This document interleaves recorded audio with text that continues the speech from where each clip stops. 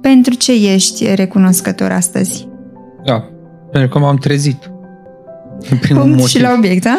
da? Din scurt. Da, câți oameni se culcă noaptea și dimineața auzi că trebuie pus o cruce în capul lor. Că nu da, dacă stau să mă gândesc, ai mare dreptate. Uh, noi uh, avem tendința ca și oameni să privim cât mai îndepărtat. A, mulțumesc că am reușit să fac o casă, o mașină să-mi achiziționez, dar de fapt uh, mulțumirea ar trebui să înceapă cu ceea ce avem.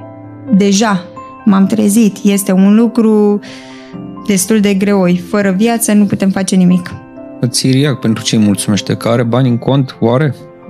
Sau că a avut posibilitatea să-i facă un homeless de pe stradă pentru ce mulțumește? Că mai stă încă o zi pe stradă și care cum? Sau că i-a mai dat Dumnezeu încă o șansă, poate să se schimbe?